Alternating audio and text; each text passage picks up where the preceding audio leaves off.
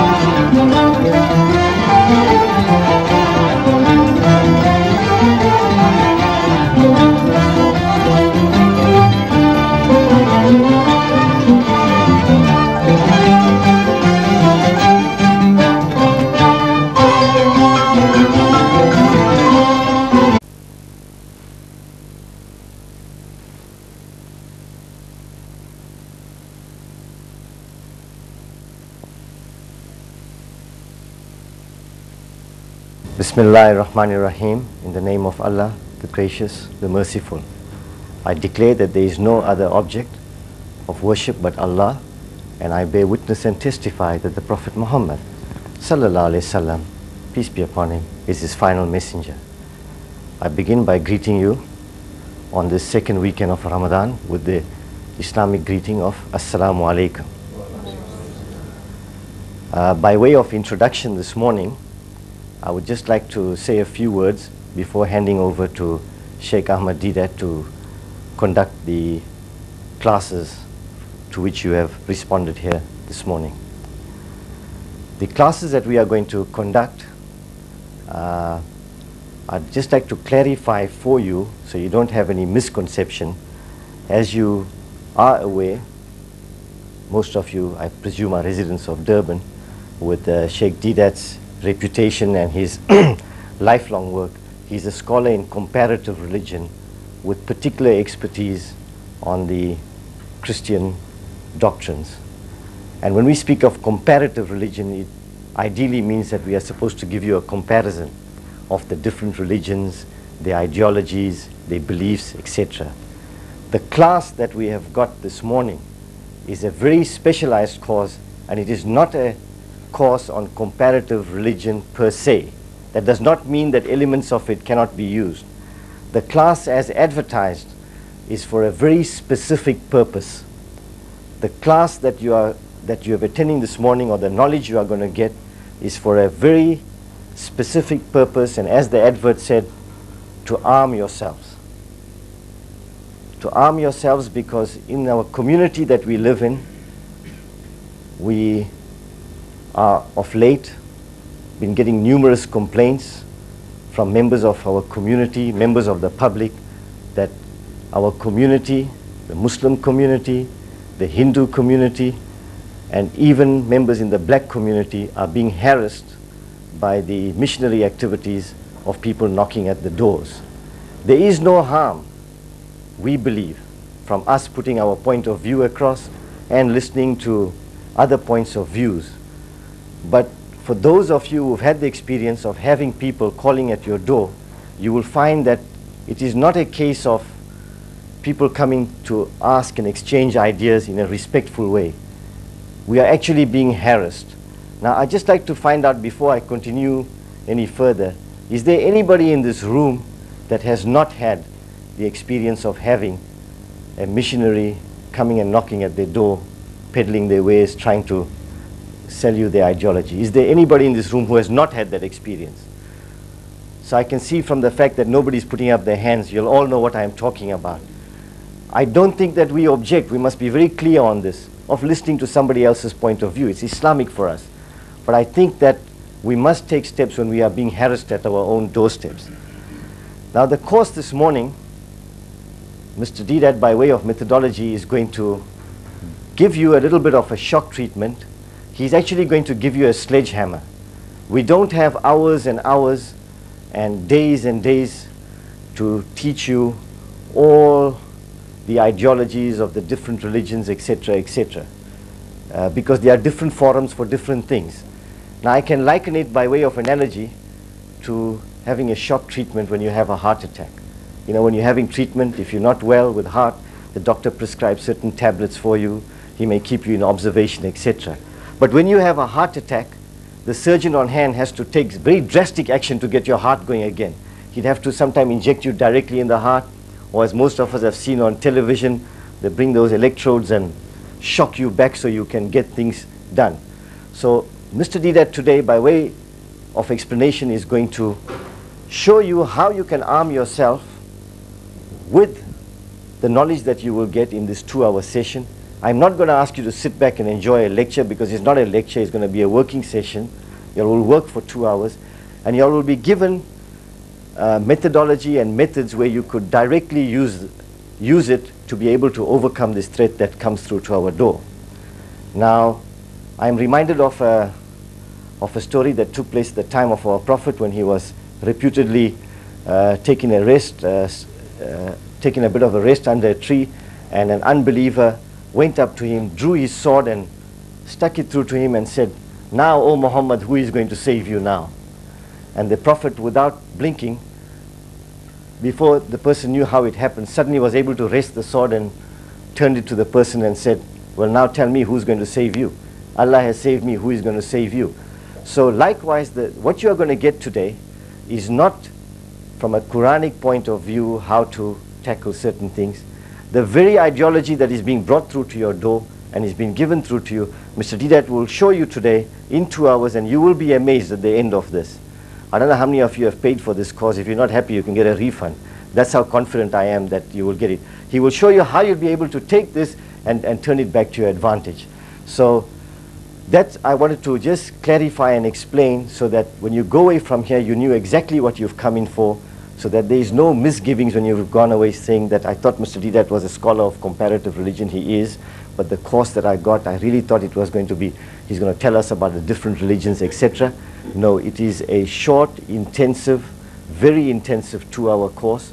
There will be a little bit of homework for you after you go away for life. If you want to continue it, I urge you to continue it but what you'll be given, you'll be armed with a sledgehammer where I know that the people we've had on this course, I've got a letter upstairs from a group of people that came in here from an Islamic organization who have written as a group and said that they are now actually looking forward to the missionary to come to their, their door. They're, they're actually now ready because for the first time they are armed.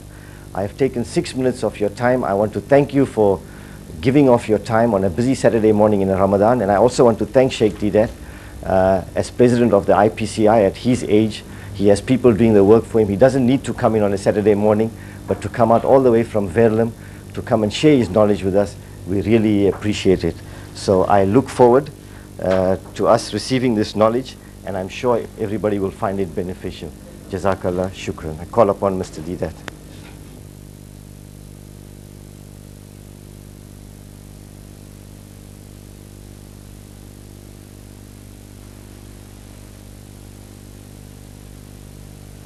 جزاك الله. أعوذ بالله من الشيطان الرجيم. بسم الله الرحمن الرحيم. كنتم خير أمة أخرجت للناس تأمرون بالمعروف وتنحون عن المنكر وتؤمنون بالله. ولو آمن أهل الكتاب لكان خيرا لهم. منهم المؤمنون وأكثرهم الفاسقون. صدق الله صدق الله العظيم. My dear children, brothers and sisters, I read to you an ayah, a verse from the Holy Quran from Surah Ali Imran. Ali Imran happens to be chapter 3. And ayah number 110. In it Allah says, Kuntum khayra ummatin ukhrajat linnas, that you are the best of people evolved for mankind. تأمرون بالمعروف وتنحون عن المنكر because you enjoin what is right and you forbid what is wrong. وتؤمنون بالله and you believe in Allah. As soon as this honor, this privilege, this high state is given to us, a certain responsibility is imposed upon us. No honor without responsibility. And the responsibility is, Allah continues in that ayah, the same verse, so وَلَوْ آمَنَ أَحْلُ الْكِتَابِ لَكَانَ خَيْرًا لَهُمْ But if the people of the book, who are the people of the book? Jews and Christians. But if the people of the book, وَلَوْ آمَنَ أَحْلُ الْكِتَابِ لَكَانَ خَيْرًا لَهُمْ But if the people of the book, they hearken to this message, they listen to this message, they accept this message, it will be better for them. In other words, it will be better for you. مِنْهُمُ الْمُؤْمِنُونَ Among them there are good people, mu'mins. وَأَكْثَرُهُمُ الْفَاسِقُونَ But the majority of them are perverted transgressors. Now this verse is so versatile, is so adaptable, that one can deliver half a dozen, I can ha deliver half a dozen different lectures just on this verse. I have tried it, half a dozen different lectures. I can I have heard people quoting the ayah and delivering a lecture, something quite different. Next person, again, you hear the same ayah and delivering another lecture entirely different. It's a very versatile, adaptable verse. But now, six lectures just on that. I'm, I'm not a scholar, I'm not a learned man, not an alim, but I can give you six lectures on that. Have you got the time for that? No. I am going to pick up the last phrase of that of this ayah. Minhumul mu'minuna wa aktharuhumul fasiqun. Among them, among the Jews and the Christians, there are good people and the majority of them are perverted transgressors. The good people, if you want to deal with them, in this booklets I have given you, just open out the packet. The good people from among the Jews and the Christians, you can expound to them what the Bible says about Muhammad, read it, study it, share with them. You can expound to them, share with them Muhammad, the natural successor to Christ. You can share and expound Muhammad, the greatest. These are for the goodly people. This straightforward, sincere people. The mu'min among them. But Allah says, but the majority of them are perverted transgressors. For the majority of them, I have this one book here, Combat Kit. So we are going to specialize on this fasik, perverted transgressors among the Jews and the Christians who are coming and knocking at our doors. Now, this book came about as a result of my visit to the Sudan, just around last year in June or so. I was in the Sudan. And after my lectures, every lecture is followed by questions and answers. At question time, a university student is posing the question. Said, Mr. Deedat, the Christians are coming from Britain, from America, into the Sudan, and they come and knock at our doors in Khartoum, in the capital. And we, proverbially all Arabs, the best words of welcome that in any language you can find, they say ahlan wa sahlan, family and plain. Just think you're a member of the family and be at ease. And they settle down and they pose the question. They are asking us questions. So you believe in the day of judgment? This is the latest now. You believe in the day of judgment? The Muslim says yes. We believe in the day of judgment. So after judgment is established, if you deserve heaven, you'll get it. If you deserve hell, you'll get it. You believe in that? You say, yes, yes, we believe in that. Now this heaven of yours, where will it be? Will it be here on this earth or in the skies? What does your Quran say? Whatever you say on earth, you say, show me. If you say it will be in the skies, he say, show me. And he knows for a fact that the bulk of the Muslims, 99% of us, will not be able to. We, at the back of the mind, we have some ideas. This topic didn't worry us. Wallah, it didn't worry me. I said, look, where the heaven will be, whether it's in the skies or on earth, wherever, if I deserve heaven, I'll get it. If I deserve hell, I'll get it. That I believe. But it didn't bother me to find out where. So now the, the, the person is asking me, Mr. Deedat, what is the answer? What is the answer? I said, at the back of my mind, I have my prejudices, my preformed ideas. But the guy wants to know, what does your Quran say? So when you say Quran says this, show me, and he knows you won't be able to show. Now this is his strategy of opening his Bible to you. You see, he gave you the first chance. Show me what your Quran says. You know, just teach me, expound to me. And he knows that you won't be able to do that. Then say, look, I will show you what my Bible says. Now you are duty bound. Out of courtesy, you are duty bound to listen to him. You are like a sitting duck now. See, because he gave you the first chance, you failed. So he said, now I'll show you what my Bible says. He's got you. So Mr. Leader, what's the answer? So I had to confess to my audience, and I confess to you even now, that I'm a born Muslim. I'll confess to the Christian missionary, said, look, I'm a born Muslim, 75 years old. And in the eyes of the people, I'm a very knowledgeable fellow. In eyes of the people, you know, who come to listen to me, they say, hey, Mr. That must be an alim, an allama, without the title. See, he's a great lecturer, professor, they call me, at times they call me doctor, ustaz, uh, and all kinds of Maulana. All these titles have been thrown at me. So, in the eyes of the people, I'm a knowledgeable fellow, and I don't know. I'm ashamed of myself. Having confessed, I said, now we must turn the tables. So, I said, I suggest to the guy, I said, look, I don't know my Quran as I ought to know, but I take it you know your Bible. And he's too arrogant to say no. He's got one under his arm. That's why he's there in your house. He wants to present the Bible to you, to expound the Bible to you. He said, of course. He says, can I have a look? Ready, ready, ready. He's, he's ready. That's what he wants. He wants you to accept his Bible. So he gives you the Bible. He said, when he gives me the Bible, I open the Bible, Genesis chapter 19, verse 30. And I give it back to him. I said, read. You read. He's going to glance at it. He's trained not to respond to your commands. You say, read, not like this, I read Surah Fatiha.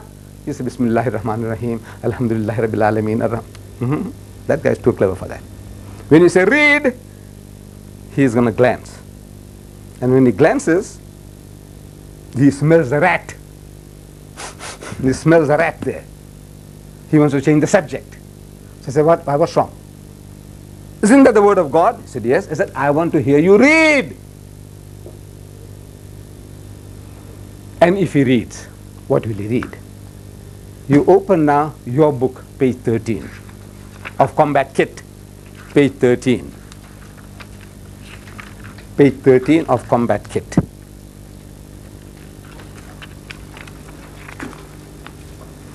Got it? Page 13.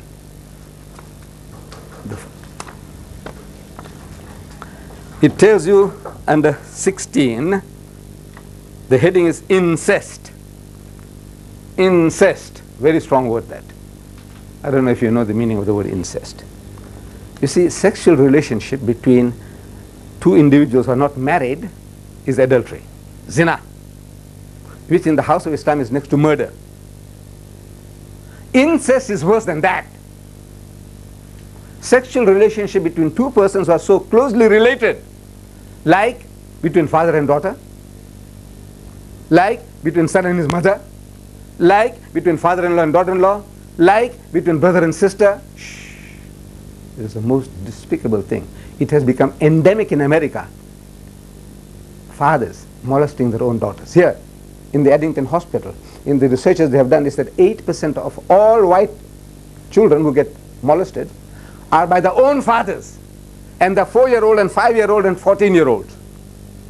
8% of all, all child molestation cases that take place is between the own father, not stepfathers, and not relation, but own father. 8%. In America, it has become endemic, like an epidemic. But now we have to deal with this topic because we want to turn the tables. This is a kind of inoculation I'm giving you. This is not a pleasant topic to discuss, more especially with my sisters and my daughters here. It's not pleasant. Wallah, is not pleasant. But it has to be done. Somebody has to dirty his hand. Somebody has to dirty his mouth. It's not pleasant. I'd rather talk about the Quran, about this, that, that, that, about this beautiful comparative religion, you know. Says, what is Taurat? What is Zabur? What is Injil? What is Furqan? Oh, beautiful. I, lo I love to talk that. But now, this is an inoculation I'm giving you. An inoculation,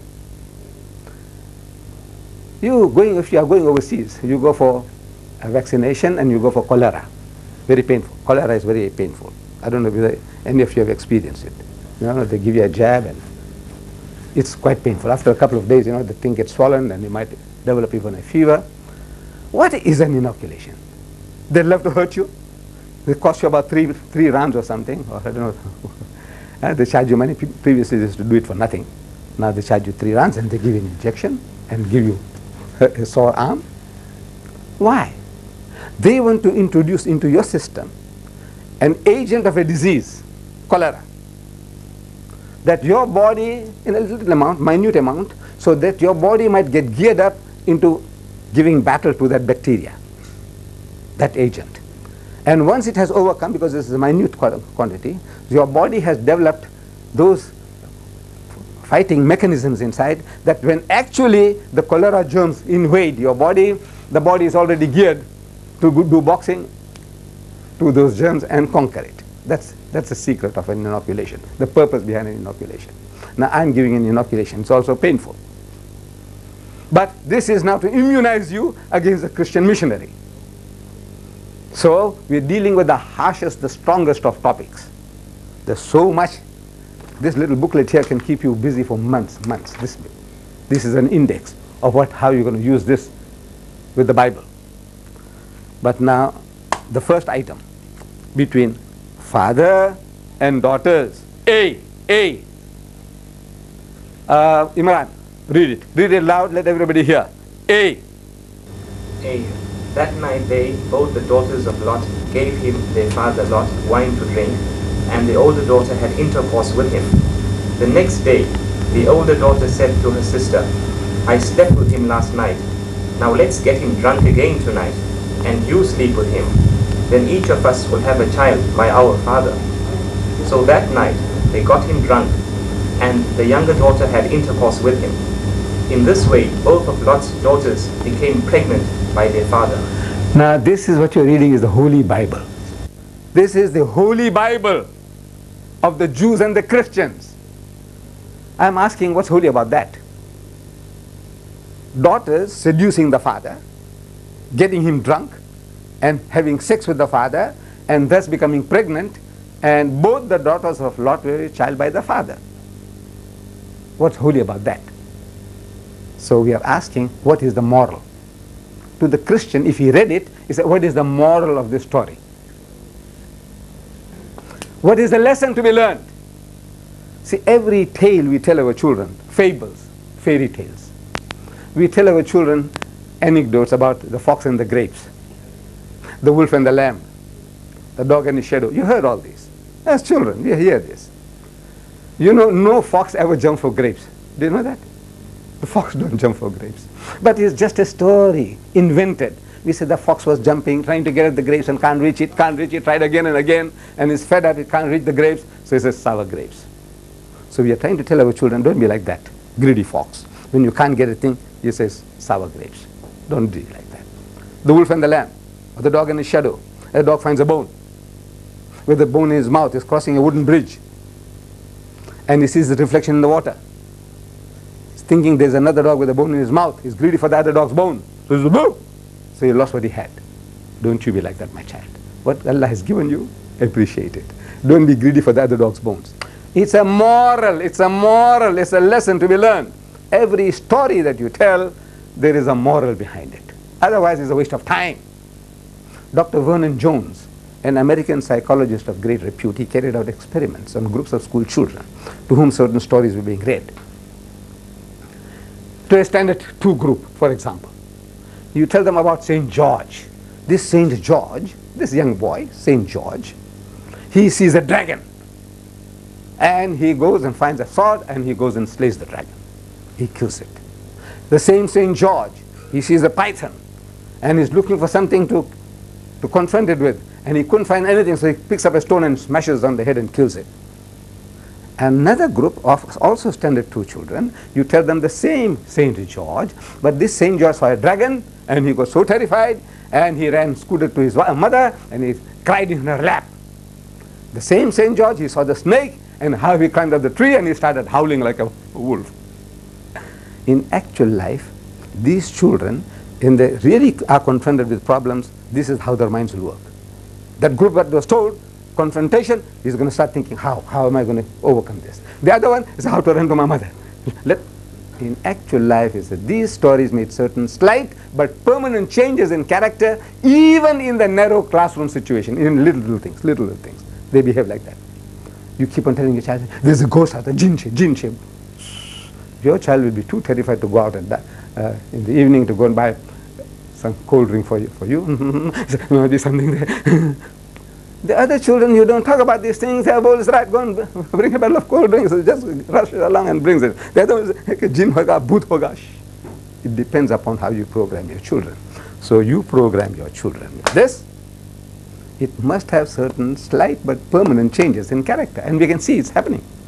It's happening, practical experience. Researchers are showing us that it's happening wholesale. So now, this, we have given you a Bible you open up the first book of the Bible, Genesis, first book of the Bible, Genesis. But I don't want you to start fumbling for, look, try and find pages 14 and 15.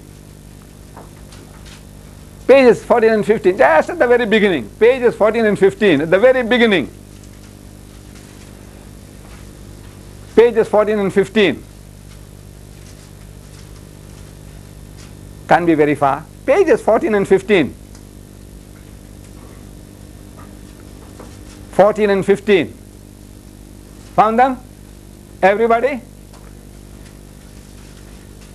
14, 15.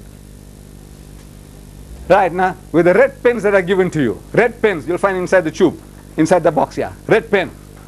Take them out. And right across between page 14 and 15, right, right across. Have a look at this. Incest between father and daughters. Oh.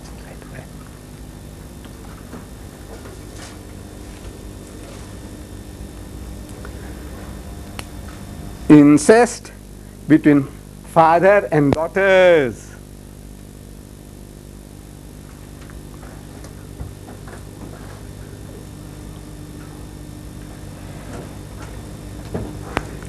Just write across and underline it. Incest, don't be afraid to mutilate that book. This is yours. The book is yours for taking away. So don't spare the book. It's my book, I have given it to you. Don't spare the book. Don't feel pity for the book. Right, right across, incest between father and daughters.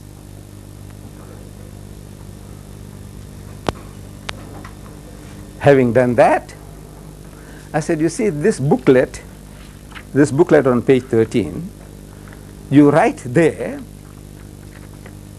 about what the young man read, about Lot and his two daughters, page 13, what he read. Write on the side, on the side, P14, where the reference is, about the incest between father and daughters. Write down P uh, 15, I'm sorry, P15, here on the side here of the book. Right, P15 means page 15 in your Bible. Because everybody has got the same Bible, you can afford to put down these numbers. That you don't have to start fumbling. Where's Genesis chapter 19, verse 30? You just say P15, write it here, here on the side. That's right, just P15, that's right. Here, Write in your book. That's right. That's right. P15. Now, this booklet is an invaluable aid, support in your battle. And after you glance through it, you read it, you are likely to put it with the other books in your library. And it's apt to get lost. When the enemy comes to your door, he knocks at the door, you don't know, where is it? You start fumbling for it, and you might not find it. Or somebody comes along to the house and a combat kit. That's a very, very, very strong topic, man. Combat kit, Bible thumpers, Christians like, hmm? He said, can I borrow this, sister? Can you say no? Can you say no? Sir, can I borrow this? You know, I'll read it and give it back to you. Finish, it's gone. Now when the enemy comes to your door, you're helpless. That licensed revolver you had, you give it to somebody else. It's a licensed revolver, give it away. So what you do now, you have this book affixed in your Bible in the front inside cover, you glue it. The glue is given to you. You glue the book like this. See how it's done? Glue it there that it doesn't get lost. If you lose, you lose the whole encyclopedia, the Bible. So whoever gets it, he gets everything. Glue it. The glue is also provided. You apply the glue to the back of the book and then you stick it on. Apply the glue, yes, to the cover itself or to the back of the book.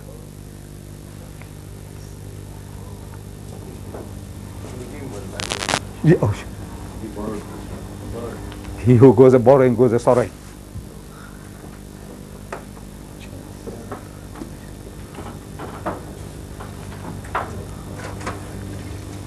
Don't spare the glue. Don't spare the glue. You know, use it liberally so it doesn't come off. Is there permanently fixed? Lose the book, lose the whole, whole Bible.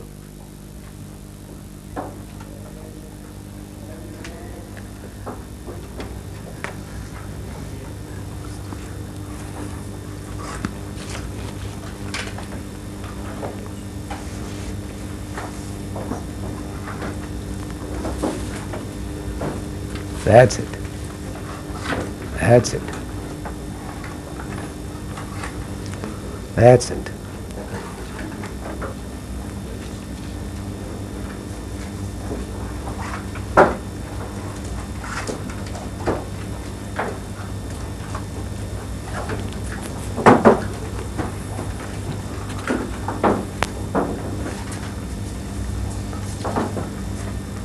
Inshallah, the glue is also good.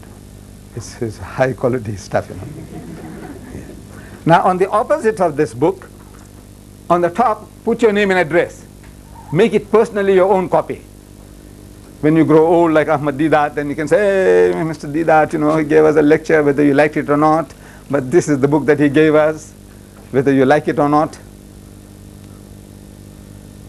Make it personally your own copy. Remembering this morning, Saturday the 6th of March 1993. Your name and your address. That makes personally your own copy.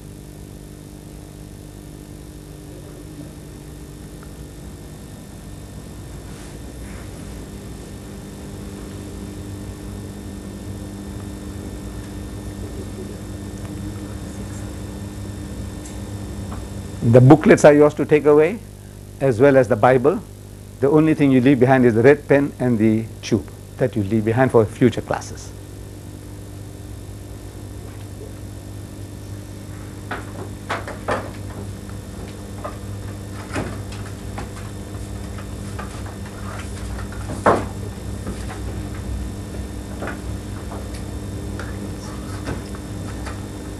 Now at the bottom of page 14 and 15, open again page 14 and 15, open again, page 14 and 15. At the bottom, see here, at the bottom, right, incest between mother and son. A nice bold handwriting right across from one end to the other. Incest between mother and son. Beta or ma. माँ बेटा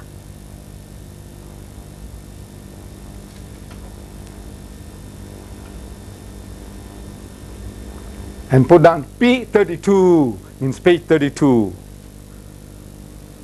P32 means page 32. So you don't have to start fumbling for chapters 35, 35. You're looking for 35 and you've gone into Exodus and you're looking for still 35 and you find it is not what you're looking for. P32.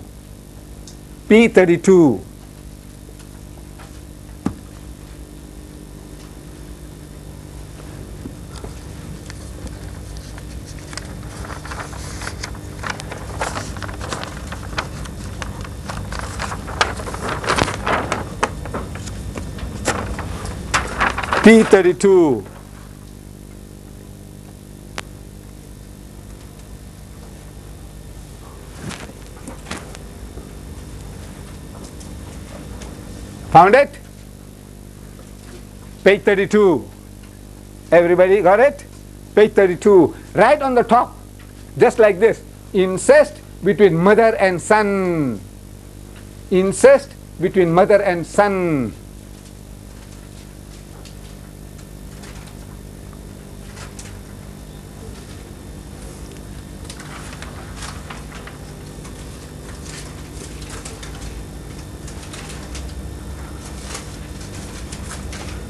Page 32, pen, page 32.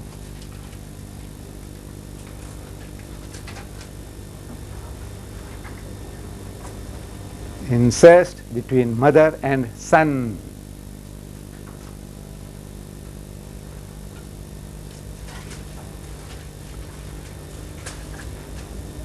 And circle verse 22. On page 32 you find there verse 22. Look at this here, circle it like that. Circle it like that. Circle it. Page verse uh, 22, circle it.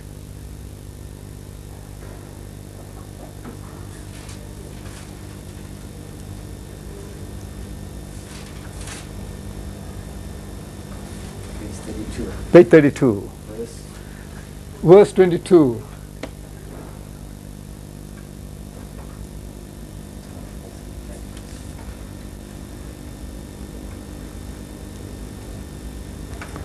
Circle it. And at home when you have a, a highlighter, you can highlight it. You can highlight what you have written also. Make it a nice color-coded Bible. Attractive. Attractive instrument to use. Circle it.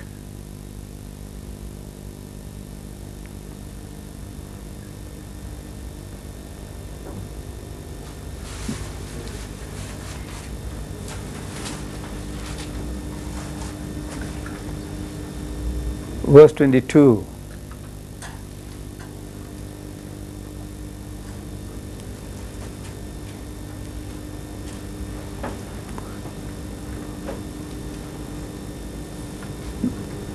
We have missed out on page 15 something. On page 15 we missed out. Go back to page 15. Go back to page 15.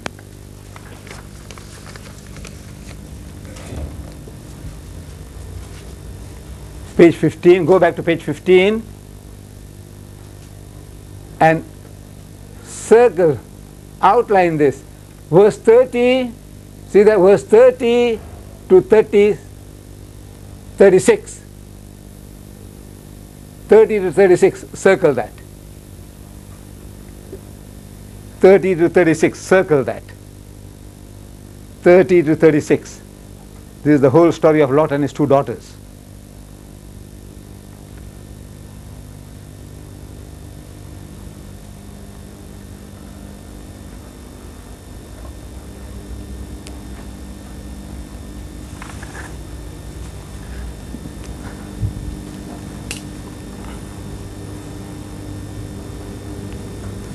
Circle that.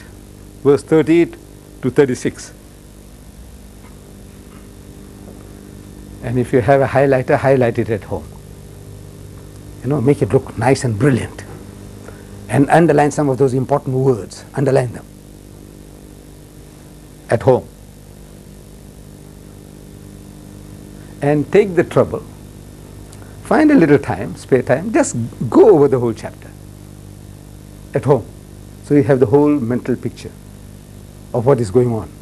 What is going on. As we have a mental picture of those verses. So guys, what's the context? Is the context it is it's, it says itself that the father and the daughters are in a cave. Hazrat Lut alayhi salam. And in the cave, the eldest daughter has an idea, brainwave, that look, our father is old. And there's not another man on earth who can come in and to us in the manner of all the earth, means what human beings do. There's not another guy to do it to us. So come, let us make our father drink wine and we will lie with him. This is the this Bible language. The modern version says, have intercourse with him. See, we have quoted that. The one that was read was from the New Modern Translation. They call a spade a spade. Here, they're using flowery language. We will lie with him, maybe to make him warm, hmm? that we may preserve the seed of our father, preserve the seed of our father. Baap bij bachayenge. To have child by our father.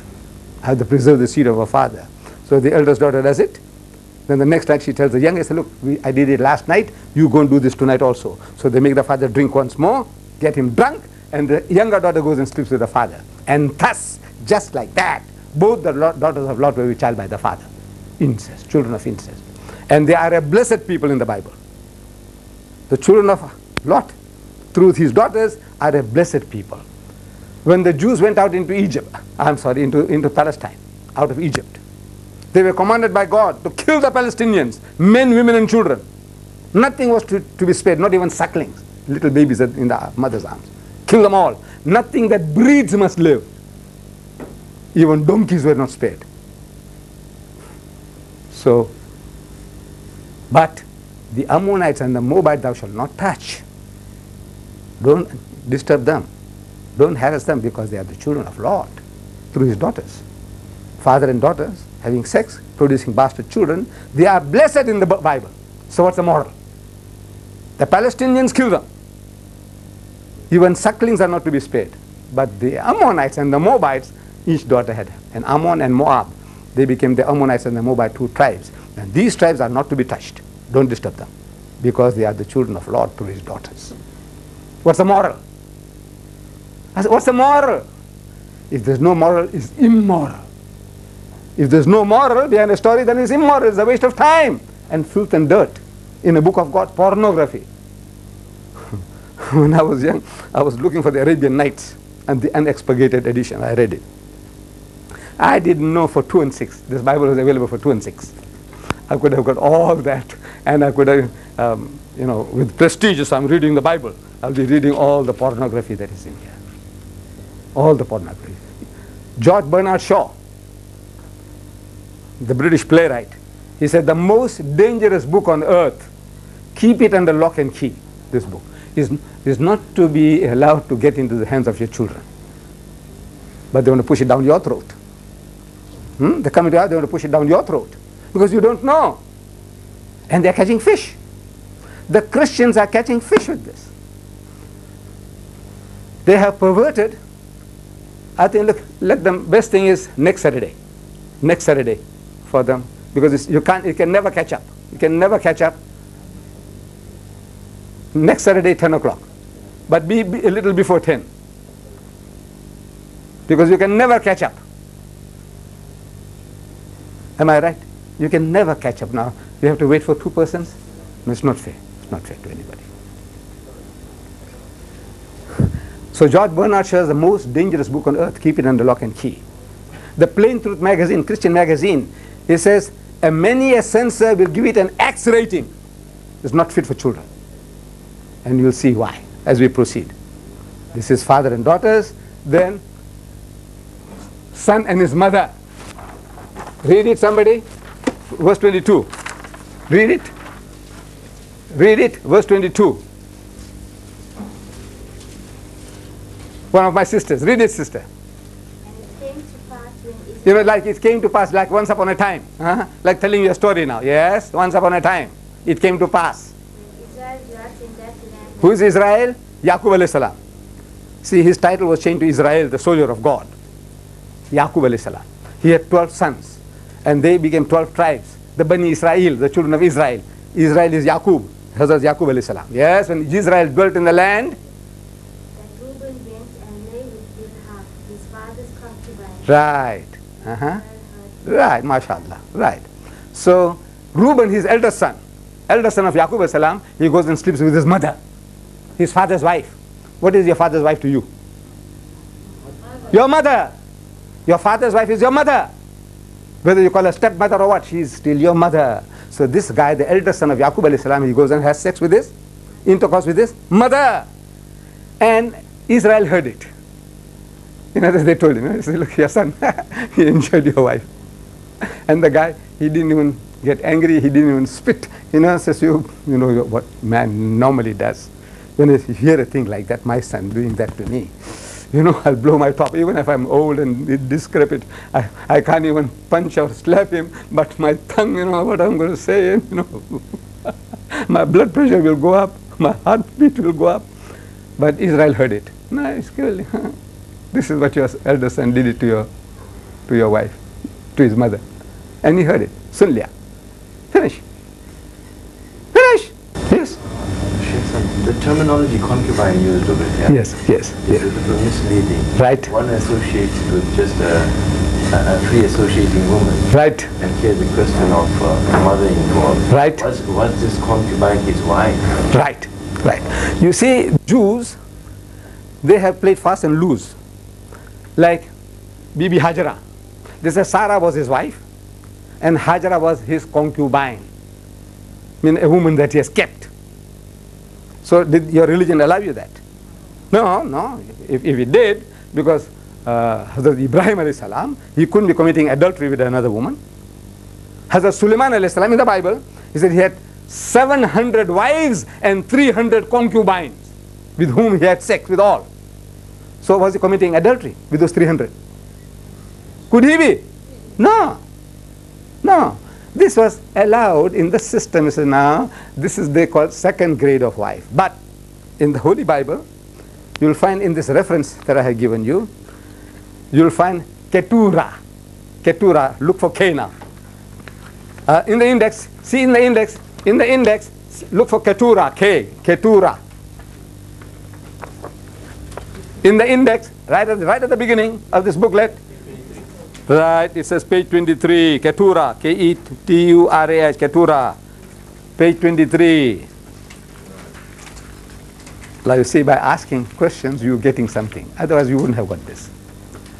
I mean, I would have left it to you in your own spare time. If you had the chance, you would have come. Keturah, page 23. Got it? Keturah. Right. The first reference is that then again Abraham took a wife and her name was Keturah. That's the third wife of Ibrahim alayhi salam.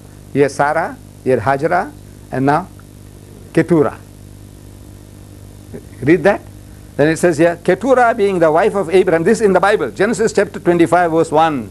Supposed to be written by Moses. This is supposed to be the Torah.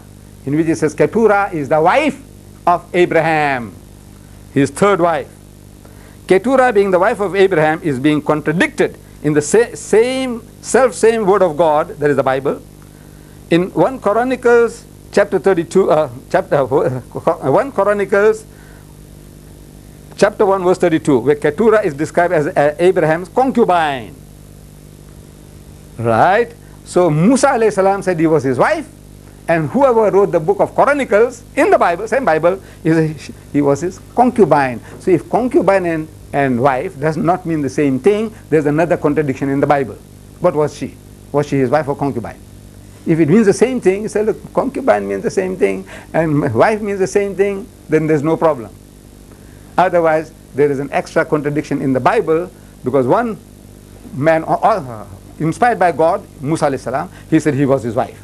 And that guy, an unknown writer, the book of Chronicles is an unknown author. He said he was, she was his concubine. Is that a contradiction? If it is, then this is not the book of God. Another proof is not the book of God. Otherwise, we have to admit that wife and concubine mean one and the same thing. Right?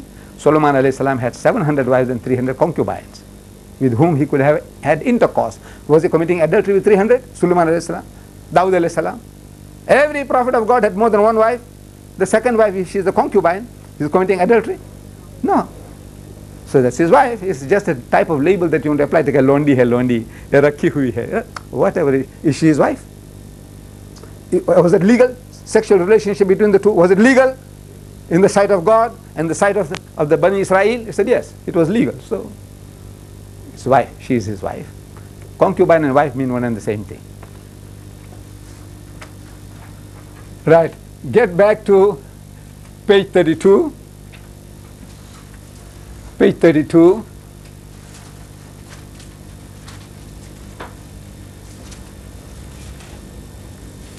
Back to page 32 in your Bible. And at the bottom right, in bold handwriting, right through across the two pages, incest between father-in-law and daughter-in-law. Incest between this is a specialist, specialized book on incest. If you want to know the types and types of incest that exist, you'll find it in the Holy Bible. And they say Muhammad copied the Quran from the Bible. There's not one of these things I find in the Quran. Incest between father-in-law and daughter-in-law. Right in big writing across. Father-in-law and daughter-in-law right at the bottom. Incest between father-in-law and daughter-in-law.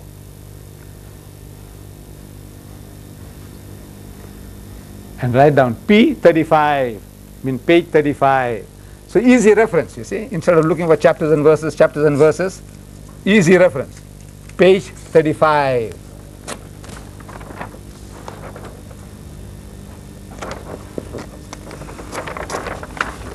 Page 35.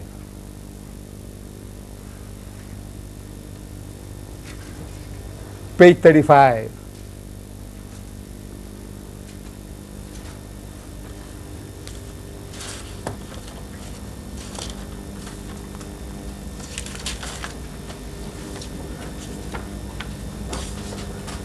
Page 35.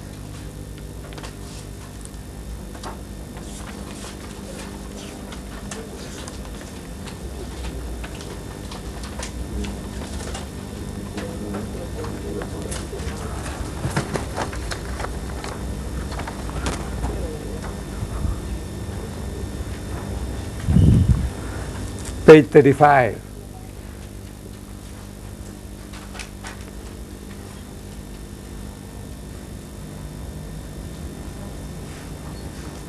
Page 35 and verse 15.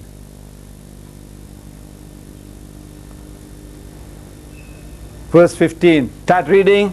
You, brother. Yes, you read loudly. Verse 15 on page 35.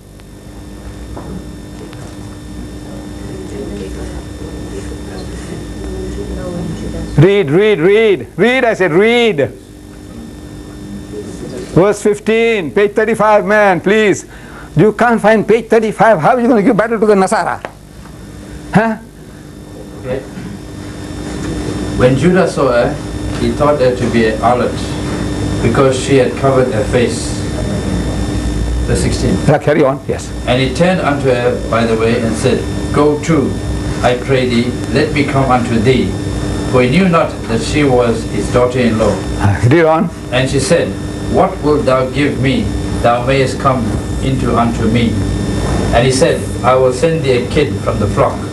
And she said, Wilt thou give me a pledge till thou send it? And he said, What pledge shall I give thee? And she said, Thy signet and thy bracelets and thy staff that is in mine hand, In thine hand. in thine hand. Haha. And he gave it to her, and came unto her, Uh-huh. and she conceived by him. Right, now you got the whole picture. You see, the story is chapter 38. At home you are going to read it. That now you circle these verses 15 to 18. Just circle them like this here. Just circle them in red. 15 to 18, circle them. Circle them. 15 to 18, just circle them. And you can an arrow coming down from the shh. Arrow coming down from the top. Shh. 15 to 18, circle the verses.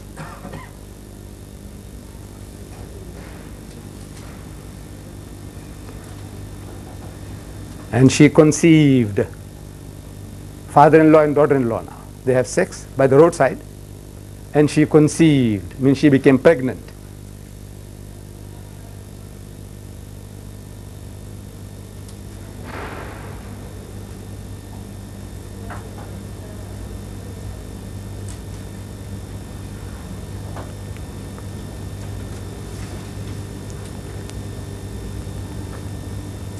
And you read further, when you read further, it will tell you that in three months' time, naturally, if a woman is pregnant, it becomes apparent. Three months' time. And she's getting twins, is more apparent, getting two. So the abdomen will be double the size. So the old man gets the news. Now the story is chapter 38. You must read the whole chapter. Very interesting. You don't have to look for Arabian Nights, the unexpurgated edition. You have it in your house now. The Arabian Nights. You read it, read it. It's nice to know in this book of God, the holy book, what's holy about that.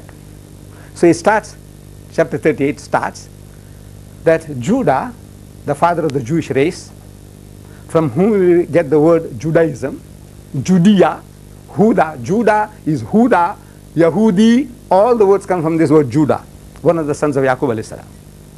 He had three sons, Er, Onan and Shelah. That's what you read in chapter 38. And Er was big enough to get married, so the old man gets her daughter-in-law by the name of Tamar. But something Er does, the Bible doesn't say what, which God didn't like, so God killed him. So what's the lesson? You do anything that God doesn't like, He can punish you, He can destroy you. That's a moral. Then the old man, according to Jewish custom, he said, look, if one brother dies, leaves no offspring, then his name will perish. No more. That name, Deedat is no more. So now the second brother takes the, his widow to wife. He has sex with her, doesn't get married, no nikah ceremony performed, but as a duty, religious duty. So he tells his second son, oh, Onan, he says, you go in and do your brother's wife and beget child by her, so the name of the deceased can carry on. Uska naam jave. His name does not perish. Otherwise, no more that uh, Earth's name will be finished from this earth. No more children left. So according to that, Onan, he goes into his brother's wife. And at the most critical juncture, he spills his seed on the ground. So God kills him also. It's called onanism. In the dictionary, Oxford Dictionary, you'll find the word onanism.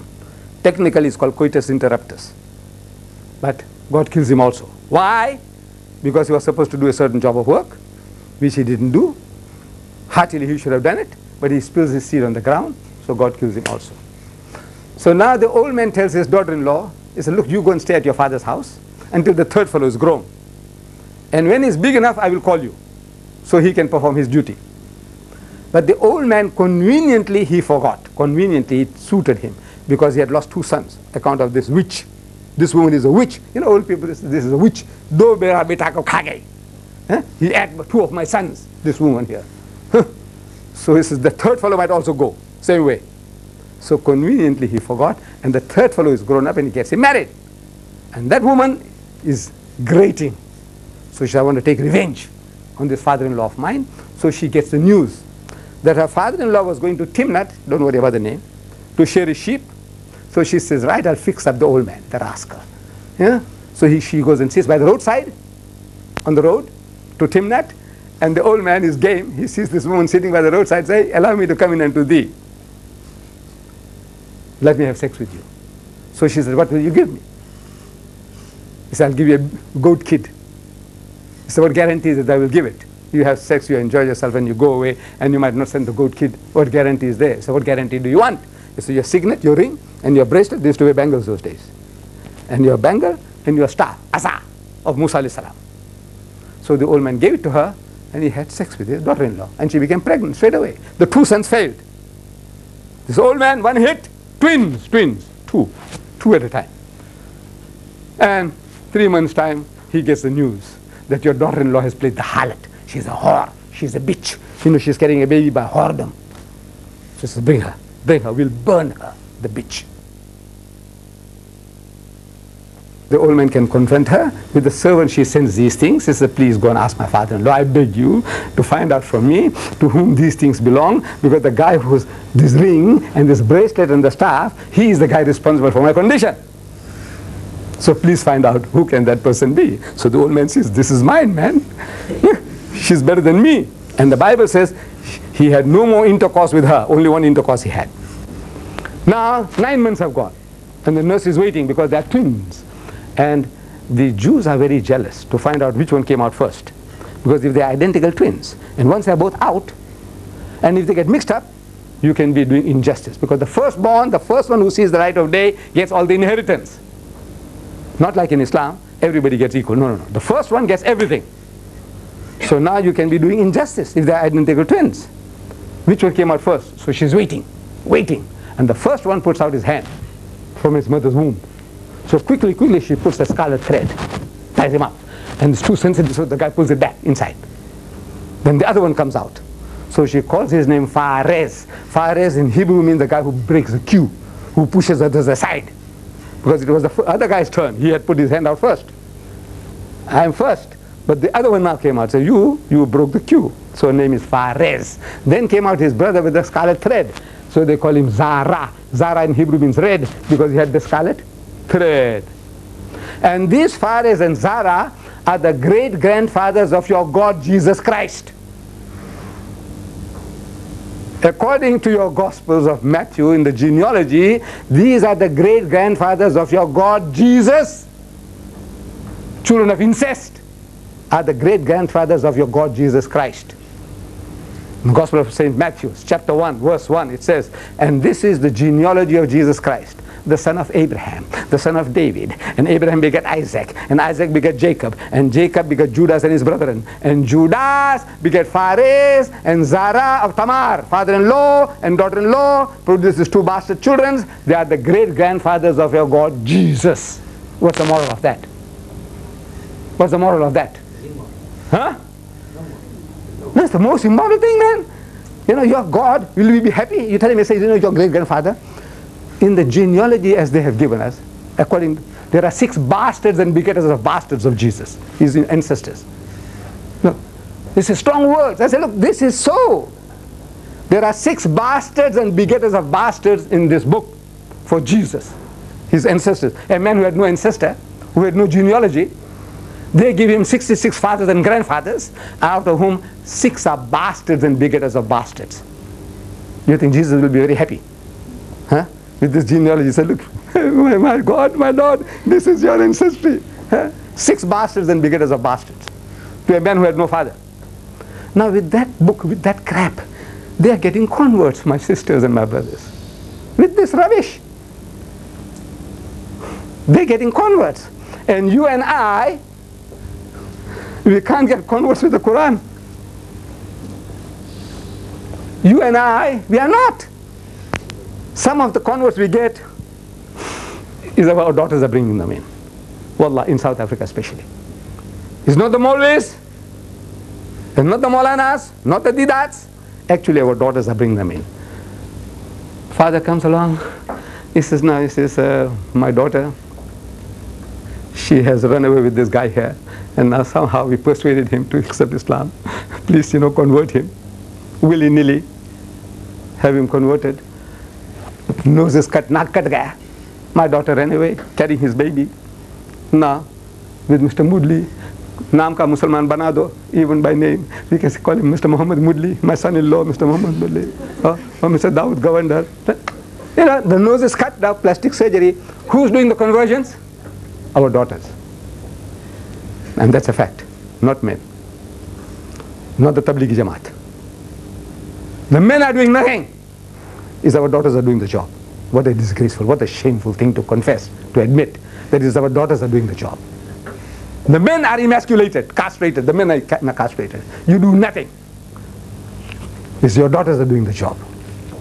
With this rubbish, with that crap, that guy's getting converts. In Pakistan, he says it's perverted more Pakistanis into Christianity since independence than in the previous hundred years of British rule. They have perverted, converted more Bangladeshis into Christianity since independence than in the previous hundred years of British rule. Indonesia, they said 25% of Indonesia is already converted to Christianity. And by the turn of the century, they want to make Indonesia a Christian nation. And there are every signs they'll succeed. At the beginning of the century, Africa was 3% Christian. Today, there are 40% Christians in Africa. 40! From 3 to 40. And by the turn of this century, they're going to make Africa a Christian continent. And every signs they'll succeed. Reason. How is it that you're not getting converts? And that other guy is getting converts? What's the reason? Come, come, my children. Tell me, what's the reason? Hmm? Are not armed. No. You're not opening your mouth. You got to talk. Any bloody rubbish you can sell. If you keep hamare beer bahut meethe, you know that boar, very sweet, very a bloody sourest thing. But you say bahut meethe, some fool will buy. Hmm? You keep on saying, guys caught me with leeches this season. I said it's very green. It was towards the tail end of the season. He said, but sir, it was growing under shade. so I said, taste it, taste it. It was not fasting month. Taste it. So now with that conviction, taste it, man, taste it. I said, it's okay. Give me two bunches. I went to sour like anything. the guy caught me. Taste it. You know that conviction. Taste it, man. Uncle, taste it free. I said, okay. How much? this is it. You sell. The Christian is selling. He's knocking at your door. We, not in our neighbors, our fellow workers, we don't talk at all. We mind our own business. And the best of us tell us, Hamara thikana nahi hai. We are not perfect. I'm asking, when will you be perfect? look at there's three there out of four. They got beards. And everybody's got a small goatee like me. So i said look man they're making standard size man. Huh? But you're wearing this nasara clothes? You know very nice jubba. Be a real islamic fellow. You have done so much mr Deedat you know. Busy busy busy. What's that?" They're keeping us busy. In the masjids, wars, wars, salami or no salami, war. Dua, to read loudly or silently, war. To lift up the hand or not, war.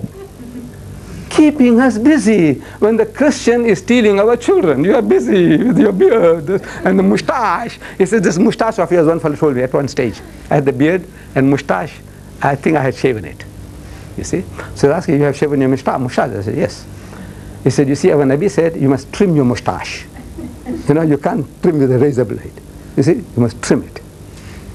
At least, you know, I had the beard, so not good enough. You, your moustache you had shaved. You see, you must trim it. That means still some little crop must be visible. That is there. Not, not cleaned up like a lady's. busy, busy, busy. Well, the Christian is stealing our children. He says, my brothers and sisters, arm yourself. Arm yourself. Now, get back to page 13. Get back to page 13 in your book, Combat Kit. Page 13 of Combat Kit. Page 13 of Combat Kit. All right, right, right. Right. Right. Uh, page 13. The first item A, we had marked it page 15, right? P15. The second item B, mark it page 32, was it? Uh, mark it P32, there. There in your combat kit. Mark it there, see? P32. And on the next page, on the, on the top also mark it P32. C on the side, C, mark it page 35. Right, mark it on the side, page 35. So it makes quicker references, page 35. At C, mark it page 35.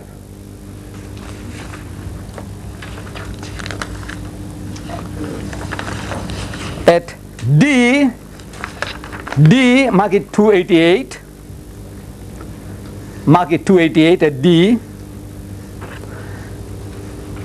And you'll find that the reference is not given there at the bottom. Raped her. You see, you got the word raped her. The reference is not given. So you write it there at the bottom, you know, of D, bottom of D, and raped her. You mark it, write it there 2 S A M U E L, Samuel, 2 Samuel, 13, 5 to 14. You write this down at the bottom because the printer had missed it out. In your book, that's right. Mark it at the bottom there that the reference there is 2 Samuel's 2 Samuel, 2 Samuel, chapter 13, verses 5 to 14.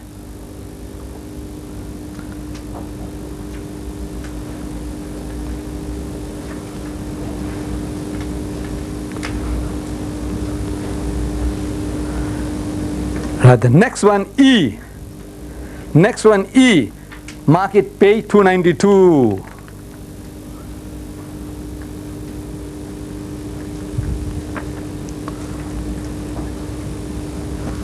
Two ninety two.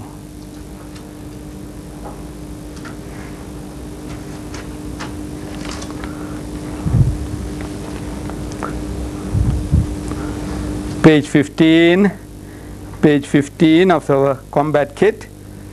D. Somebody will read D for me, brother. You read D loudly. D. He took hold of her, Huh? Huh? Tamar his sister, not to be confused with Tamar, in sea above, Huh? and said unto her, Come lie with me, have sex with me, my sister. Uh-huh. And she answered him, Nay, my brother, come on, Amnon. Amnon is the name, huh? Mm. one of the sons of David, the man after God's own heart. Do not force me. That's what she said, huh? But he would not listen to her. And since he was stronger than she was, he overpowered her and raped her. His sister. His sister. Ha ha ha. One of the sons of Dawood alayhi salam. He goes and rapes his sister. It's worth reading all those verses. 2 Samuel chapter 13, 5 to 14. Read it in your spare time and circle it at home. You see? How the brother seduces his sister and what pretenses, how he's showing you, giving you ideas. That guy, he loves his sister. So his friend gives him advice. He says, what you do, you feign sickness. Pretend that you're sick, you're not well. So when your father comes visiting you, he says, uh, what's wrong, my son? I'm Amnon. He said, Daddy, he says, I'm not too well. But you know, I love to eat that samosa that my sister makes, the cookies. You know, my sister Tamar. I love it from her hands. I like to see her baking it in front of my eyes and then feeding me. Well, the father says, well, my son is sick. He's feigning sickness. So he tells his daughter Tamar, says, look, my darling, go. Eh, make that samosa, special samosas for your brother, the meat pies that you usually make, those nice ones. You know.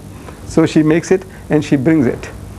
So the sick man, sick brother, he said, all the male workers in the house, get out. So she, is left alone with him. So he closes the door and he rapes his sister. Huh? Brother raping sister is there in the book of God. Then you go further on, page 292, write down the E, E, E, say E, mark it there, page 292, at E, on page 15, E, mark it there on the side, page 292.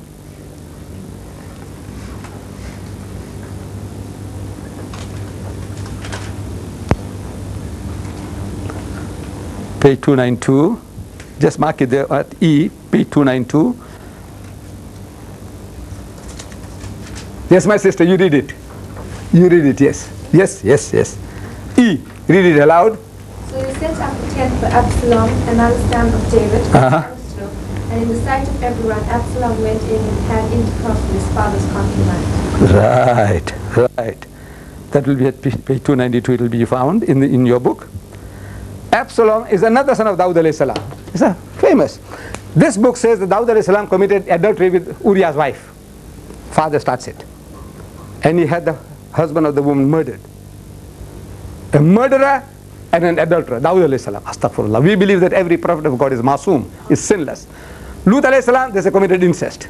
Dawud alayhi salam committed adultery and got that man killed. He's a murderer and an adulterer. Now his sons following in the footsteps. One son he goes and rapes his sister, and another son, in the absence of the father, he puts a flat uh, on the flat roof of the palace. He puts up a tent so the son doesn't get him, and he lines up 14 of his father's wives, call them concubines, 14 of his father's wives, and he rapes them all, one by one. Now gang rape is one woman and half a dozen men, but this is one man doing it to a 14 woman, 14 of his mothers. Shh, shh, shh, 14. He did it to them. What's the moral of this book? Huh? Brother raping sister, son raping his mothers, committing incest with them, wholesale, wholesale, not retail, wholesale. And God doesn't say one word. He didn't say one word to Lot. He didn't say one word to Reuben. He didn't say one word to Judah. Nothing, nothing. He's silent. He's silent like a church mouse.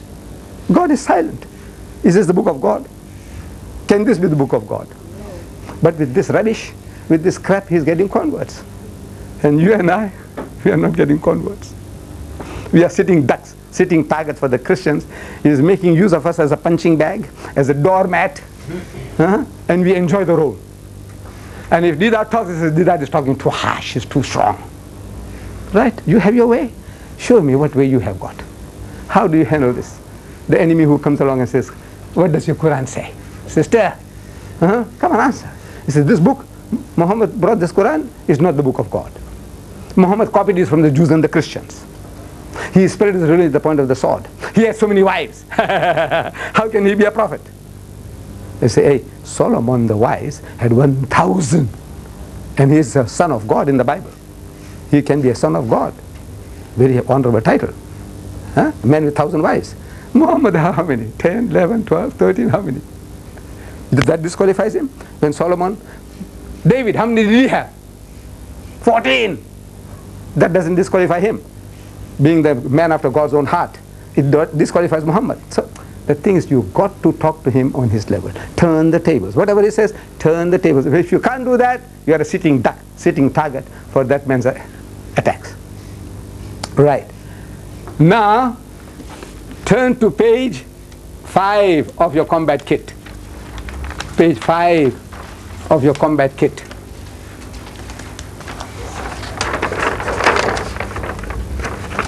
Page 5 of your combat kit. Uh, by the way, while we were talking, my assistant had the foresight to go and look up in the dictionary the word concubine. And this is what he found. Concubine is a noun, number first meaning in polygamous societies a secondary wife. Two, a woman who cohabits with a man, especially formerly the mistress of a king, nobleman, etc. C, concubina, concubine, uh, to lie together, concubinage, concubine. No, it means the same thing. That's a man, uh, according to your system, we are allowed up to four wives. Right? So the guy will say that one is a reputed wife of yours and the others are concubines. But in the sight of Allah and the sight of society, if you legally marry those women, they are your wives. But the law says, no, they are not your wives. You can only have one wife by law. All these others are your concubines. Call it what you like, but the fact is that she is your wife if you are legally married. Right, so page 5, page 5, at A, A, you draw, take up an arrow and put down page 143, 44. From a talking ass, a talking donkey in the book of God, a donkey that talks. See, a talking donkey a talking ass.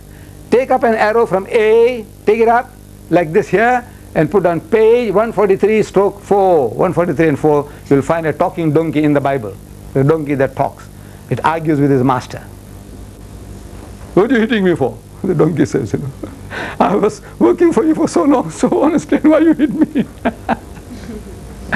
talking donkey. Got it? Pages 143, 44 in your Bibles. If you have another Bible, you'll have to check up the reference and then put the paper, put the reference. But all the Bibles that you have is this pages here. They're already provided for you. You don't have to start fumbling for chapters and verses.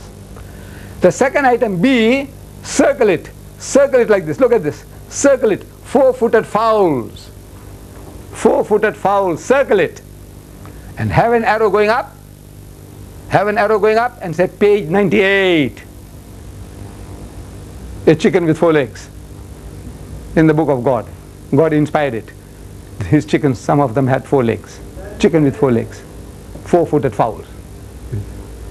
Have you seen one? Have you heard of one? A chicken with four legs. It must be a cow. Uh, C. Take an arrow out. C. Take an arrow out. Page 99. C birth of females a double pollution. See? C, page 99. See how I have done it? C, 99. Birth of females a double pollution. The law coming from God that if a woman bears a child, if the child is a boy, she is impure for seven days. Seven days. She is impure. And for another 33 days another process of purification, 33. But when you, my daughters, were born, your mothers were impure for 14 days and 62, 64 days, 64 days they were impure. Double pollution. You were a double curse on your mothers. All of you. According to the Holy Bible. You were a double curse. I says, physiologically, what is the difference between the birth, the baby, carrying of a baby boy or a baby girl? What's the difference? Hmm? Can God be the inspirer of this law? No. That for you, women, they, they always talk about women, women, you know, in Islam, I say, hey, your God Almighty victimized you from the very birth, man. You woman, you're talking? You are a double curse on your mother. So what you mean? So if your brother is born to your mother, she would be impure for seven days, but for you, 14 days. that means you are a double filth, filth and rubbish, you, according to your book of God. right. D. D. Circle it. D. Shamgar kills 600 with an ox goad. And arrow coming out from the circle. Page 223. Page 223. Circle that. Shamgar kills 600 with an ox goad. This champion Jew, this Jew, with a stick, with a stick with a small nail in front of it. They call it an ox goad. They use it for goading the ox. And when the poor thing is going slow, they prod it. They call it an ox goad. In Gujarati, we say parani. I have seen it being used in India. You know, when the ox is going, uh, uh, uh you give it a prod with a small nail. Called an ox goad, goading the ox. Uh, uh, Move.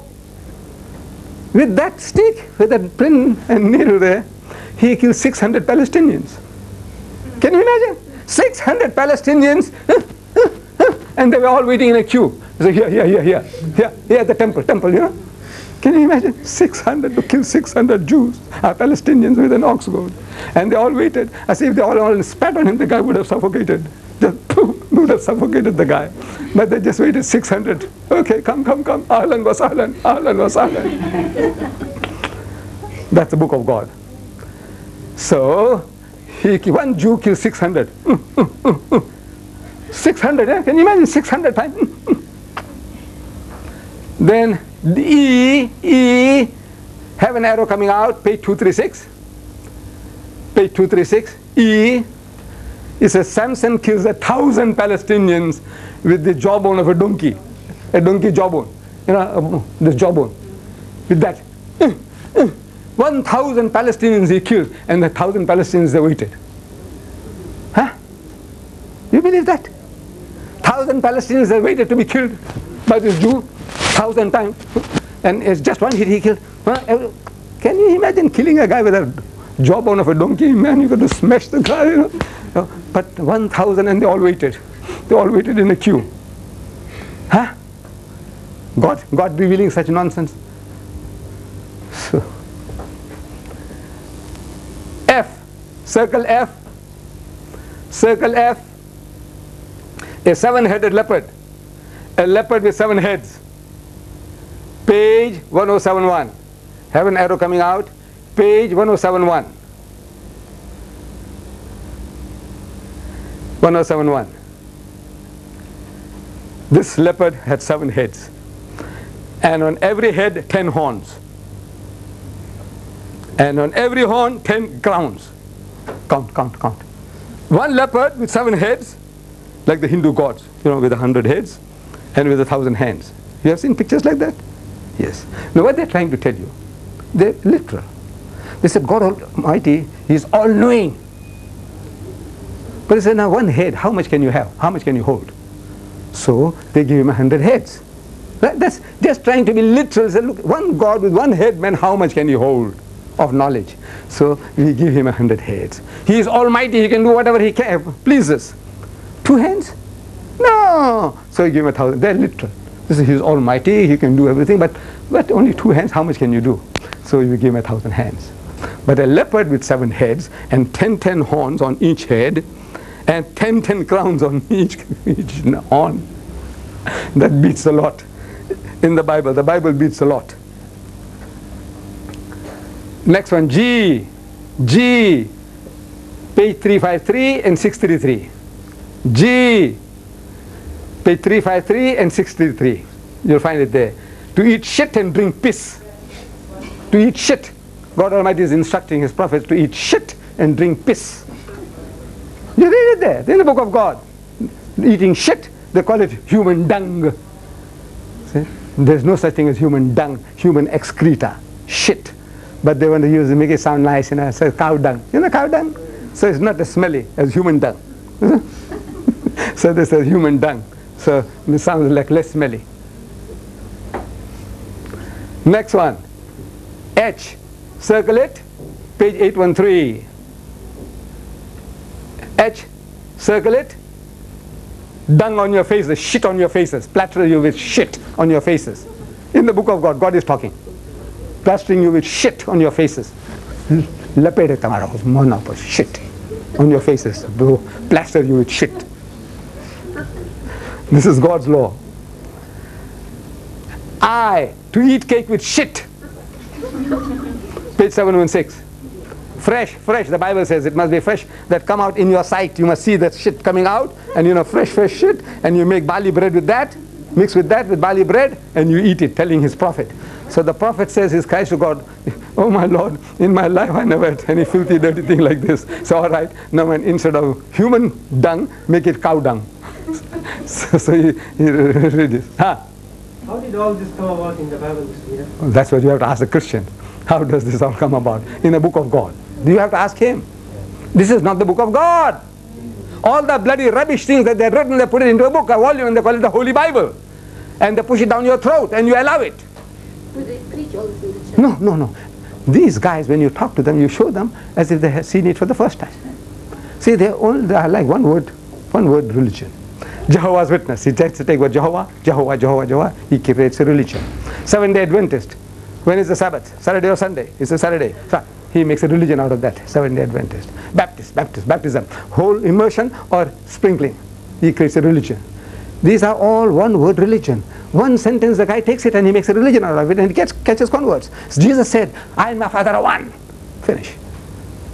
He says that. Jesus said, I and my Father are one. So he's God. He says, He that has seen me has seen the Father. Says, made a religion out of that. He has seen me has seen the Father. Means I'm God. He's the Father, his own Father. He went into his mother's womb and he came out, his own Father. Father goes in and comes out as Son. What the hell are you talking about? So I said, you see, at times, all your philosophy and psychology, it doesn't work. But one smile from your face can do the job. One smile. You know, you just smile. Jesus Christ is God. He said, yes. Your Bible said he was circumcised on the eighth day. Huh? You know what circumcision? He said, yes. So are you circumcised? He says, no. So what the hell do you know what is circumcision? It's only a word you have heard. Circum means right round and size means to cut. What? The foreskin. But you can't circumcise the child with your mouth. You've got to hold the little child by his tool, put a bamboo splint, the good old days, and chop off the skin. Somebody had to do it to your God. Jesus, he was God. Yeah, somebody had to hold him by his little tool and chop off the skin. Your God. His skin is lying somewhere in Palestine. Go and look it up. Search for it. It must be still there. God's skin, foreskin, lying somewhere there in Palestine. What did they do with it? what did they do with it? So, one smile. God, he's God. A woman carried him for nine months. Huh? Huh? Suppose you are a nurse in the stable helping Mary. And she's laboring a helpless little creature with all the filth and the muck like every one of us. He's coming out of his mother's womb. Is he your God? Can you for one moment think that's your God? Huh? This helpless little creature, you can just hold him like that and strangle him? Your God. Did he make his own mother? This, this, this, this God. You say he's your God. Did he make his mother? Did he make his grandmother? Did he make the sun, the moon, and the stars? What are you talking about, sister? What are you talking about? One laugh.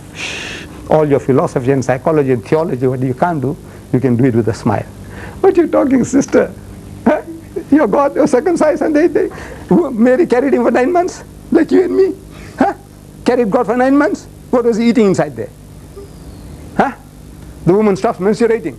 He gets channeled into the navel, into the child system. God was eating that. The menses. What you talking about? Sister, what you talking about? All your philosophy and psychology and theology, what you can't do, you can do it with a laugh. So some say, no, no, no, you mustn't make a mockery. He's not making mockery. This is what he says. Allah Bari Ta'ala, he tells you that. He tells you, he uses the same psychology. ثم المسيح ابن مريم إلا رسول Masih, Messiah, Christ. The the son of Mary, is no more than a messenger. قد خلت من قبله الرسل many were the messengers that passed away before him وأمه صديقة and his mother was a virtuous woman a noble woman a saintly woman كانا يأكلان الطعام and they both ate food so what's wonderful about that we all eat food so no since we say he's God his mother is a goddess they worship her in the Roman Catholic Church as the mother of God they both ate food انظر كانا يأكلان الطعام and they both ate food انظر كيف نبين لهم الآيات see how we make our science clear to you Allah is telling you how simple we're making it for you they both ate food كانا يأكلان الطعام انظر see have a look how we're making things so easy for you ثم انظر have another look أَنَّا يُفِكُونَ How they have drifted away from the path. See, have another look. What? What? He's telling you they both had food, they had the call of nature, they had, they're shattered. Allah doesn't use that language. That what? See, have another look. Look what? What is there to look? They both had food. So what is there to see? Another look. Allah saying, have another look. What another look? He's telling you they ate and shitted. God your God, eating and shitting, a shitting God and an eating God. That's what he's telling you. But he's using the most, he's sublime, he's using a sublime language. But now coming down to our common terms, he said, look, he's see, look, and have another look. What? Okay, they used to eat and shit. They used to eat and shit. Allah is using this sarcasm. See, Allah has begotten a son. Say, Anna yakunu li waladun lam takun lahu sahiba. Say, how can he a son? He's got no wife. Has he got a wife? Him. Say, has he got a wife? He says, no. Then how can you have a son? Huh? You have a son without having a wife? Maybe a bastard child of yours. Your child. Come on, man. So this is the system Allah gives you in the Quran. Argue and reason with them. But you are too saintly, so saintly that the guy is making a mess of you, left, right, and center. You have to come down to earth sometimes. Come down to his level and give him below the belt. He's giving you below the belt. Right. Anybody ever question them huh? in the churches, do the people who read the Bible, can they question the Says when you raise a question like that, he says, you, know, you got the devil, Mary. Mary, you got the devil. You better be, you better be, on, better be on guard. You know, says the devil has got you. Subsequently, true. Right, the last item here Samson, circle it, Samson has sex with a whore in Gaza. Page 236. Samson has sex with a whore. With a whore, the hookah, a prostitute. Page 236. It is the book of Judges, chapter 16, verse 1. It says, And Samson went to Gaza, a hero of the Jews. Samson. He's a godly person, and he's a hero of the Jews, Samson. Samson and Delilah. I don't know whether you saw the film. I saw it many years ago. It was quite a good film. Samson and Delilah. So he sees a whore, a prostitute, a hookah in Gaza, and he goes in unto her. That's all. That's all. Finish. 16, chapter 16, verse 1. And he goes in unto her. He has sex with her. That's all. What does God say to that? Nothing. What anybody says, the children of Israel, the learned, nothing, nothing. He went in unto her. Book of God. What's the moral of that? He saw a whore and he saw and he went in unto her. Full stop. Finish. And the subject changes. Verse 2 talks about something else. What did God say to that? Nothing. What's the moral? What's the moral? Now we end with page 8. Get on to page 8. Page 8. Page 8. Item 10. Under God. Qualities ill befitting God, not, not fitting Allah. A, A, A. See the uh, arrow coming out from A and make a big circle there and put down page 612, 614 and 810. Pages 612, 614 and 810.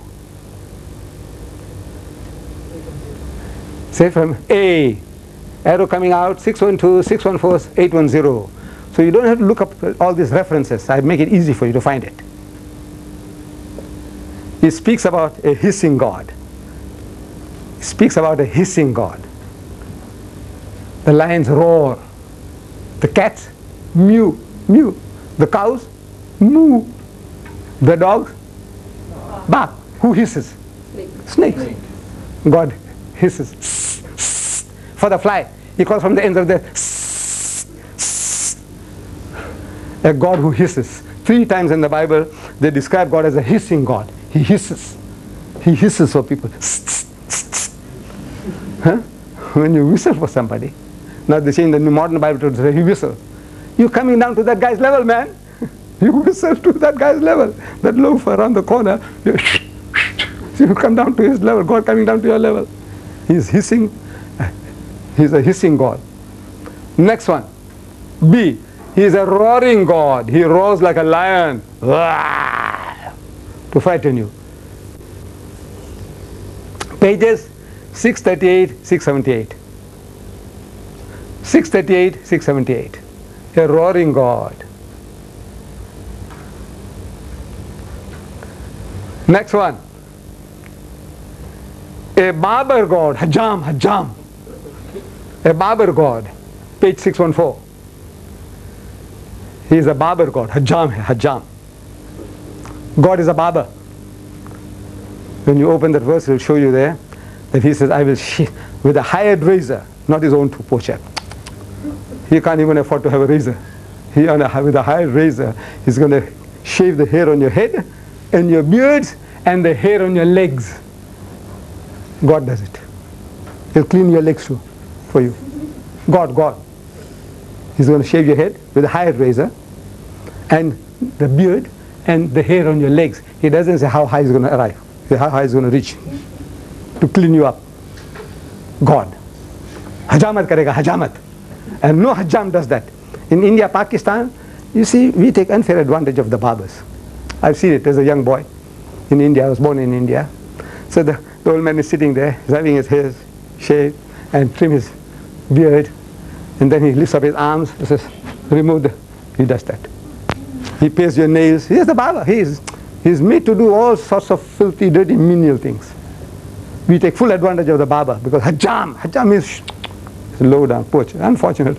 Today we call them hairdressers or tonsorial, tonsorial artists. artists. don't, say, don't call a guy a barber or a hajam. He'll get offended. But we call them hajams. They remove the hair from under your arms. But no barber ever shaves your legs. But God will do that. God will do that for you. He'll shave your legs as well. You don't need wheat. No wheat required. D. Circle it. D. He's a penitent God. Page 5 and page 669. First time he repents is on page 5 of the Bible, and the next place he repents is 669. You know, he made man for this man.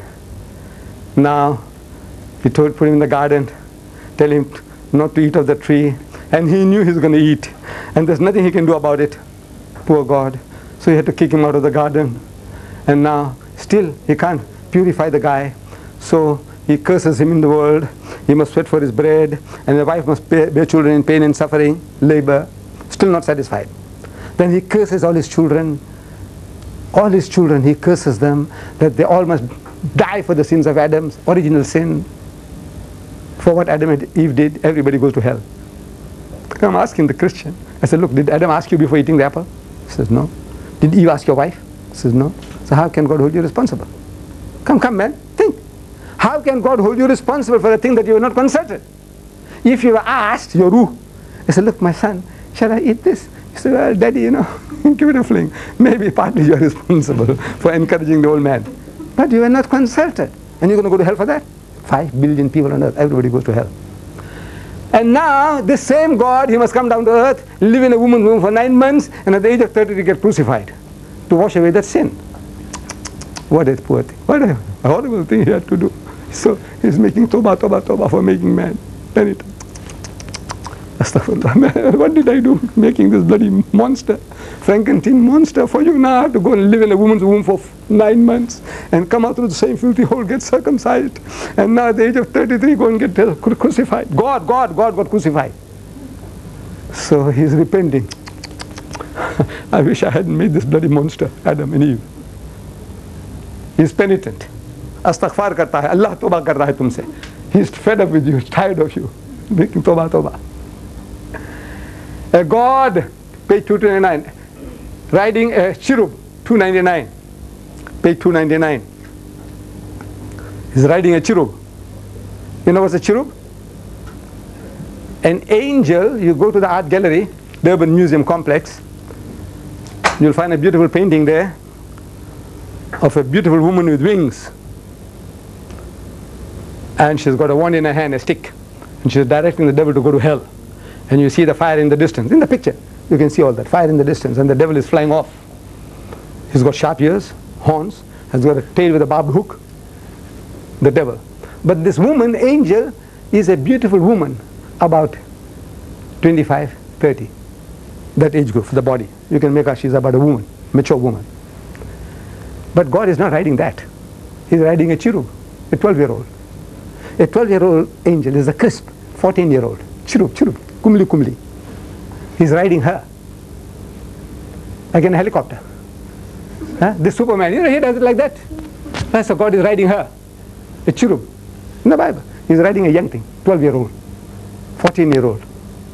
I've seen them in the Vatican. Shh. Made in marble. These young cherubs. Beautiful things. Absolutely naked. Absolutely naked. Marble. Flesh colored marble. And everybody that passes by, he fondles their buttocks. And you can see a sheen, shine on the buttocks of these cherubs. They are there in the St. Peter's in Rome. The holiest of holies in Christendom in Rome is there. The cherub. Young, crisp young angels. Not 25, 30. Mm-hmm, that's too old. But God writes something nice and young, crisp. God riding cherubs. How? On, that, on, on, on her back or on her stomach? How does she fly? The breaststroke or does she, how, how does she fly? Huh? And God is riding her. This is the book of God. God's inspiring that's rubbish. That he writes cherubs, little young crisp things. she didn't wait for a woman of 30, 12 year old. Right. This is the last item, F. Circle it. Circle it. And page 252. Circle it. A God who murders 50,070 persons for looking into a box. For looking into a box. It maybe it's a very holy box. You are not supposed to look inside. So he's given you warning. Anybody who looks inside the box, I'll kill him. But he allows 50,070 people to pass.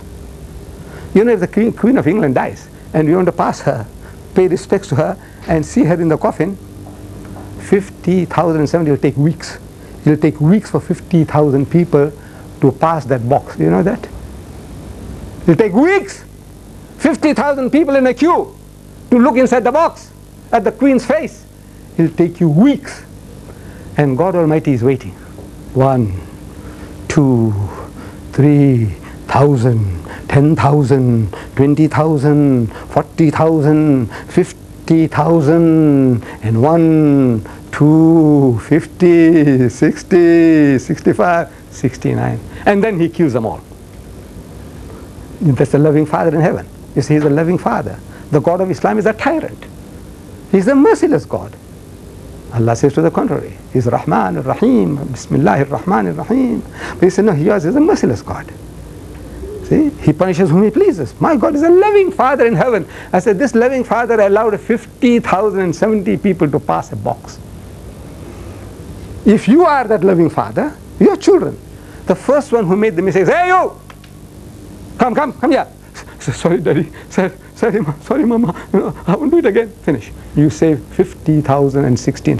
If you kill that one too, 50,016 and you save. 50,000. But no, he allowed them all to pass and he killed them all So some 50,000 women are widowed and some 100,000 children are orphaned for looking into a box. Very kind and merciful God, very loving Father in heaven. So the thing is turn the tables. Once you have these facts, and you, the, guy talks about a loving, I said, what loving Father? I said, come, come and open your book. He killed 50,070 people for looking into a box. You do a thing like that? Huh? Even to rats you don't do that. To cats you don't do that. You know, so you're going to allow them all to do, make that sin, and then wipe them out. You do things like that. You're a sadist, man. You know, you get pleasure. Astaghfirullah. But with this book, that guy is getting converts. And you and I, we are not doing our job. We are not opening our mouths. This is here an inoculation I have given you. That you can become a, a bloody rubbish woman. And you become a bloody rotter, an adulterer and a bloody cutthroat and a rogue. But you are not likely to become a Christian. Ah, for money's sake or for woman's sake, yes. But on the merits of the book, you are not likely to become a Christian. That's all. That's the inoculation I have given you. Injection. To save you from being Christianized. That's all. But the others, you have to do the homework yourself. Any questions? Any questions? Is this the book they carry around? This is the book. Basically, all the Bibles are the same. There might be difference in the terminology, the language. It says uh, lie with him, the other one says have sex with him, but meaning the same thing. Basically, what is in this Bible is in every Bible on earth. So you give the reference. I can't open up. Samuel's, 2 Samuel's, chapter 13, verses 5 to 14. Read. Make them to read. You mustn't read. Make them to read. And then not going to read, say, what's wrong? Isn't that the book of God? He said, I said, what, are you ashamed to read it for? Huh? Read it, man. I want to hear from your mouth. And see how he tries to wrangle out of it. Yes? It is advised that our sisters don't have to get into an argument with the with male missionaries. Right, right. That's, Believe they have yes, right yes, yes. them. True, true, true, true, true. You see, these males come along, men, men come along. Now it's very, very difficult for you to get into this mess with a man about Lot committing incest with his daughters, son with his mother, brother with his sister, son with his mother's. It's not befitting. It's not befitting. So when a male comes along, if says, look, if your brother is there or your husband is there, let him do the talking. Train him as well. Tell him, say, look, this is what, come on man, fit yourself, equip yourself. But uh, the other guy comes along and we haven't got somebody there, say, hey, look, you bring your mother along. You send your mother to me, send your sister to me or your wife. I want to talk to her. Go. I don't want to talk to you. See, Islam forbids me. They come in pairs. Right, right. So right, so you get out. Tell that guy, say you, you get out. I want to talk to your wife. I want to talk to her. I want to ask her. You go and sit outside. Sit outside. I want to talk to your wife. I want to know whether this is the book of God. Huh? You read this to your daughters about the daughters having sex with the father. When an honorable thing to do to have sex, children from the father. What is the moral? You're going to tell this to your daughters. This book, the book on on incest. If I were to write a textbook and give it, present it to your daughter, will you be happy? Huh? From the book of God, the types and types of incest that you can commit. I want to present it to your daughter. Your 14 year old, your 16 year old daughter. What will you do? Guy says, I'll strangle you. I said, You have a right to do that. Why? It's pornography. In the book of God? So what? Come, open, see. Yes. Right. Uh, these tubes with the pens should be left behind. Yes. So if I may, on behalf of the people that are present here, I want to take this uh, opportunity of thanking you for the, the manner in which you presented your your argument and gave us this ammunition, this combat kit. May Allah Ta'ala guide you and give you long life to Yes, guide us along. Yes, sir. Jazakallah. Yes, sir. Some other day, inshallah, we might have opportunity of general discussion and talk we can have, but this has to be restricted to this, to arm you. Just one question. Yes, yes. One of the students was confronted, uh, one of the students in school, and the student was caught out. The, the student wanted to know why is it that non-Muslims are not allowed in the Kaaba in Haram Sharif. And uh, the student gave a reply that it's the Quranic law. But uh, the student couldn't expound further and say, why this law was there. Maybe if you could enlighten me, enlighten us. Yes. You see, I always find shortcuts to answer. You start going into details. For example, you say, look, you people are unclean. You don't wash your backside. You are all bloody pig eaters. You are all adulterers. And all that is offensive.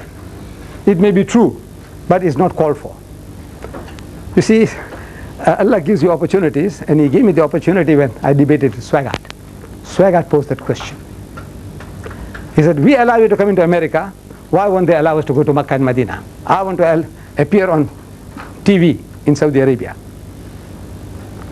He wants to get, get there. So I told him, look, Makkah and Medina are not in my hands. I'm not ruling that country.